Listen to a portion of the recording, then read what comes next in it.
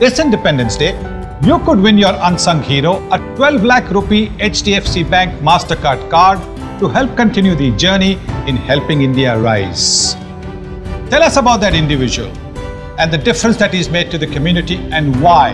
And you could also win a trip to South Africa to retrace Mahatma Gandhi's steps and experience how the power of one hero altered the course of our history.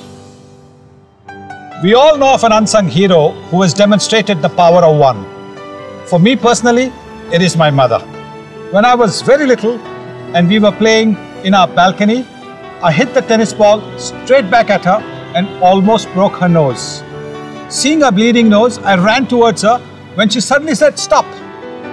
As she calmly patted her bleeding nose with the pallu of her sari, she said to me that if I wanted to become a cricketer, playing with a hard ball, I need to be resilient and learn to bear the pain. My lesson on that balcony gave me the determination to step up to the challenge of facing the greatest and most feared bowling attack in world cricket then, the West Indies. For years, as I walked out to bat, my mother's words turned what I lacked in size into what I gained in strength. Her lesson and her belief in my dream helped me develop as a player and as a man. So, this Independence Day, let's celebrate together the power of one.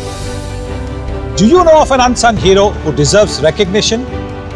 Where the power of one and what they stand for has made a difference to the community to help India rise?